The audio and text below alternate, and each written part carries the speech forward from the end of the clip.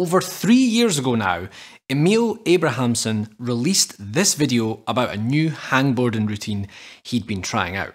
It's called a no hang routine, where you aren't actually hanging from the fingerboard, but instead you're just weighting your fingers with about 80% of your body weight. The interesting part of this program is that it calls for you to do this twice a day, every day. This is a drastic departure from the classic finger strength program that schedules one or two hard, intense fingerboard sessions in a week. Emil is a former World Cup competitor and ultra high end boulderer, so his fingers were already absurdly strong. But the results from 30 days of light fingerboarding twice daily are almost difficult to believe. Hanging from the 14mm edge, Emil was able to stack 60% more weight whilst hanging for 5 seconds. His time held on one arm hangs increased 26 times, and he was able to hang on the 6mm edge for the first time in his climbing career. The results, whilst not very scientific, are unquestionably overwhelmingly positive. Other people have backed this up too.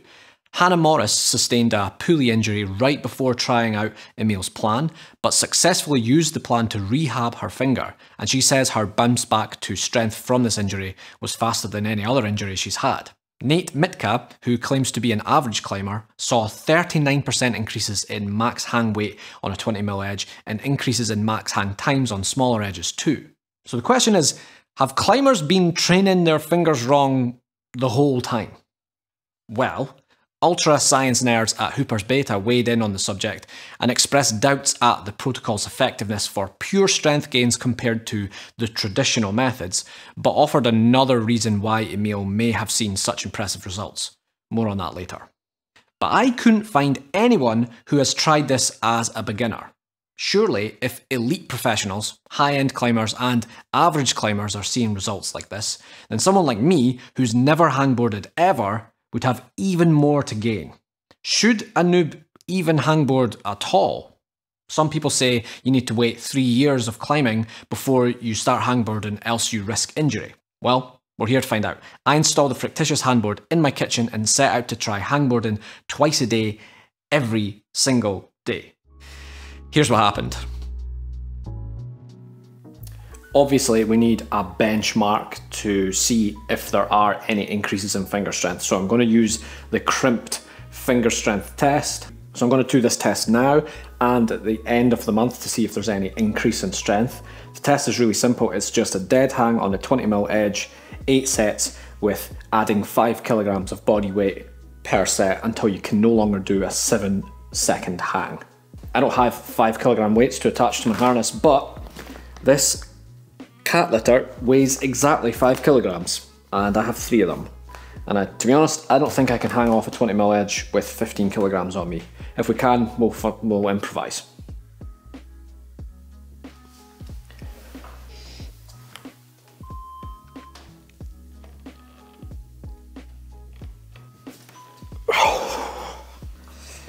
to be honest, 20, 20 mil with just my body weight is actually pretty intense. All right, five kilograms of cat litter. Feels all right. By the way, if you like the look of these Frictitious hangboards, there's a link in the description that allows you to get 20% off your order. They do sponsor the show, but these hangboards are highly recommended. 10 kilos.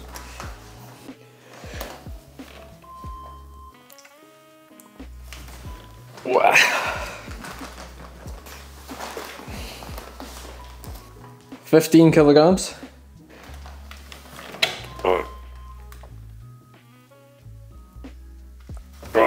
No. Okay. That's it. 15 kilograms was the max, well, 10 kilograms was the max. Okay, so there's the results. So I can hang, I can hang on the 20 mil edge um, for seven seconds with a maximum of 10 kilograms. With 15, it was too much. I could only hang for five seconds. So we have a baseline. So we'll come back in 30 days time. I'm gonna do the training twice a day, every day, and see if I can hang on that same edge with more weight for seven seconds. I also wanted to see what was the smallest edge I could hang from, and it turned out that it was the 15 mil edge. I could not hang off the 10 mil edge. With the benchmarks recorded, it was time to start training. But first, let's pay the bills. This episode is sponsored by Crimpd. Crimpd is a training app designed specifically for climbing. You create a training plan that suits your needs, be it bouldering, sport, trad, alpine climbing, whatever. It has hundreds of world class training workouts and templates. You can log your workouts and you can analyse your progress with benchmark tests. It's particularly good for focusing on specific weaknesses. For example, I'm going back to Kalymnos later this year, and to conquer those 40 metre monster routes, I need that endurance. So I've created a training plan based on the base endurance template for intermediate climbers. I also customised my plan by adding specific mobility exercises to deal with a tweaked shoulder that's been bugging me for a few months. The workouts are designed by professional climbers and coaches like Tom Randall, Ollie Torr, and Emil Abrahamsson, so you can rest assured that what you're doing is a tried and tested approach. I think a popular program would be the Bouldering Mastery, one that is actually created by Emil. You can choose what level suits you and select the length of time of your plan. Crimpd offer two options, a Crimpd Free and a Crimpd Plus. There's plenty to sink your teeth into with the free version, but with Crimpd Plus, you can create custom training plans, access many more workouts, and pre-built skill templates like the base endurance one I'm using right now. So download the Crimpd app and try it out. In fact, if you log one single session of Emil's Submax daily fingerboard routine, you'll automatically be in with a chance of winning Crimpd Plus for life. So what's to lose? Give it a try, and thanks to Crimpd for sponsoring this episode. Here's the program in a nutshell. There are 20 reps in total. For each rep, there's 10 seconds on and then a 20 second rest, and you cycle through a few different grip types.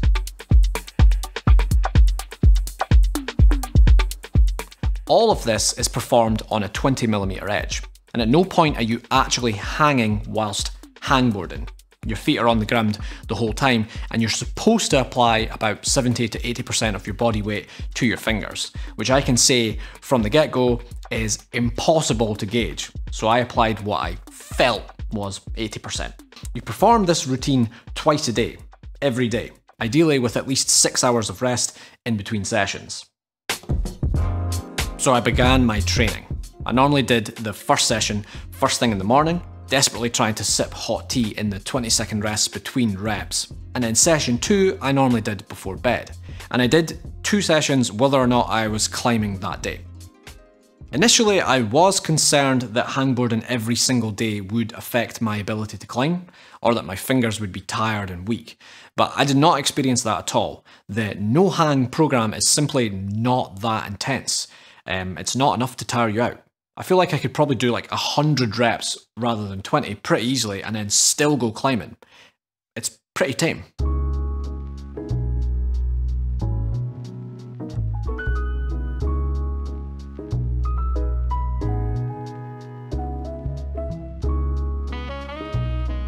Initially, I found this to be a really rewarding and convenient thing to do. The sessions are extremely easy with a hangboard in the kitchen anyway. And because uh, it's part of the program, you feel like you're actually doing something. However, after around 10 days, I actually ran into some issues with my fingers. We've encountered my first issue, which is um, numbness in these two fingers here. Um, initially, I thought it was carpal tunnel. Sometimes I get carpal tunnel if I work at my desk for too long using a mouse. Something in here seems to compress that nerve that gives me that problem. Um, however, I've not been at my desk. I've been climbing. Um, so the only thing I can think of is the fingerboard, and that's the only thing I've changed. It's not painful, it's just slight sort of fuzziness, sort of pins and needles, and a little bit of numbness. Um, if it gets worse, I'm going to take time off. As right now, I'm going to push through. Let me know if you think that's a bad idea.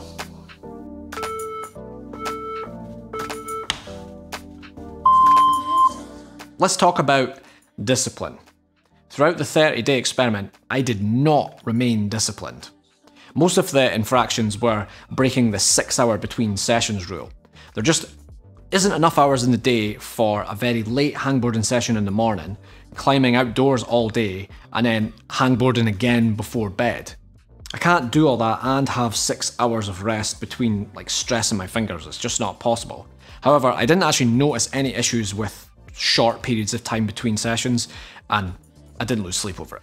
I also simply bailed on a few sessions because I forgot, or I was at a wedding, or I was travelling. Rather than just simply miss those sessions, I actually extended the experiment slightly beyond 30 days to ensure that I still got 60 hangboard sessions in total, even if it wasn't strictly two per day. Over the course of the month, I thought, or I hoped, that this would get easier and easier and become part of my routine, and maybe I'd just end up doing this forever, even after the initial 30 days. But it became obvious pretty quickly that that wasn't going to happen, because this is boring. We are well underway with the experiment now, and um, the novelty is kind of wearing off. I used to get a kind of dopamine hit out of doing um, these little exercises because they're so easy to do. They only take, mm, how long do they take? 20 sets. It only takes 10 minutes. The, the one in the morning is easy to do. You just wake up and do it. But the one at night time, I always forget I have to do it, and it means that it's always the last thing I do before bed, and it's kind of a drag. It's because the 20 second break is not long enough to like make a cup of tea or do the dishes or anything like that. It's you're just hanging about. I'm complaining about nothing here. I'm just letting you know that um, I'm bored of this now.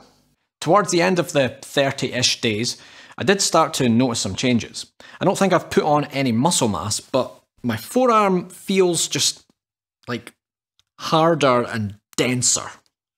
It doesn't feel bigger, just feels heftier. I don't know. I've also noticed that when I'm pumped on climbs now, I can see my veins popping out of my arm a lot more. I don't normally get that, and I've not lost any weight over this experiment, so I think it's like increased blood flow in my forearm. Can't be sure though. But all of that is just hearsay unless we get the results. The proof is in the pudding. So, how did I do? Let's recap on where I was before. On the 20mm edge, using the Crimpd finger strength test, which is brutal by the way, just running this test is the most intense hangboarding I've ever done. By adding 5 kilograms each rep, I got to plus 10 for a 7 second hang. And I was able to get off the ground with plus 15 kilograms on me. So let's see if a month of no hang training made any difference. This is us up to 10 kilograms. So this is equal to my best last time. Uh, two, one.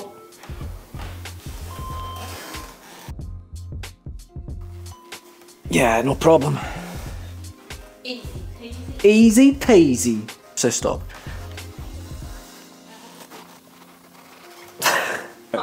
right. Right, successfully just did 15 kilograms, so that's me already 5 kilograms better than my previous, and that was fine. Cat litter master. Your cat shat the floor. right, I got 20 kilograms of cat litter attached to me. So this would be the most I've ever done by a long way. He is wondering why I'm touching his cat litter. He gets very sensitive about his cat litter, you see.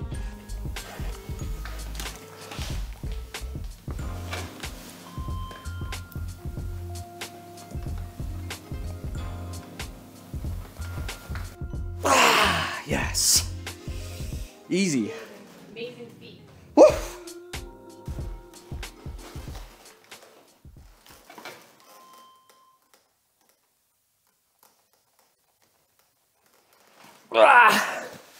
Oh, just shy. Just shy of 25. 30 days later, I can now complete this 7 second hang with 20 kilograms, which is 10 kilograms more and a 12 and a half increase in total weight on my fingers. I weigh 70 kilograms. Now I can hang with plus 25 for around 6 seconds. Again, 10 kilograms more than previously. As for the smallest edge I can hang off at all, before it was the 15mm edge on the Frictitious board, but now I can hang on the 10mm edge for a couple of seconds. So my results are positive, but not as groundbreaking as Emil's. A 12.5% increase in strength in one month is a lot though. I very much doubt that I'd be able to add 10 kilograms to my max hang in 30 days without any hangboarding. So that I feel like there's definitely a positive result here. However, because I'm a beginner, I'm still in that honeymoon period of climbing where I get stronger every week. I would have ex- expected to get stronger anyway. I wouldn't have expected to get stronger by 12.5%, but a positive increase is what I see month on month anyway. The question I have is would I have achieved more by doing the traditional method of really intense hangboard sessions once or twice a week? I think the answer is probably yes, but with a much bigger chance of injury because I still have those soft, delicate noob fingers. so, have I noticed it when climbing? No. it's not like I now pull on the wall and think, whoa, I am way, way stronger. There's like there's too many variables for me to notice a 12.5% like increase in strength. One thing I have definitely noticed for however, which is you can't measure this, is less tweakiness. Quite often when I get to a hard move, particularly with indoor bouldering, I can bail on that move because it's painful in my fingers or because I feel like I might get injured and I'm terrified of a pulley injury. It's almost inevitably going to happen to me at some point, but I would really like to avoid that as long as I can. So when the move feels just too much, I often just simply bail on it. But after this experiment, I've been feeling a certain robustness in my fingers, particularly this um, this little guy, the ring finger. They feel a bit less bendy and more durable. So I feel like I might not be stronger, but I'm willing to pull harder and I've experienced less little niggles after hard pulling or during hard climbing sessions. So, should you do this? Basically, I think this is ideal for someone who has never hangboarded before. The simple act of just not actually hanging, keeping your feet on the floor, and modulating the load with your legs, it works so well. It's so simple. It's a great introduction to fingerboarding, and we all know fingerboarding does work. I also think this is probably an excellent way to nurse your fingers back from an injury, like what Hannah Morris did. I've added this hangboarding program to my warm up routine, but now I am actually going to transition to proper high intensity hangboarding and see if we can get even better results. So there we go, another inconclusive summary about Emil's famed no hang protocol. I hope you found it somewhat informative. Check back next week for more climbing content, and thank you very much for watching. Peace.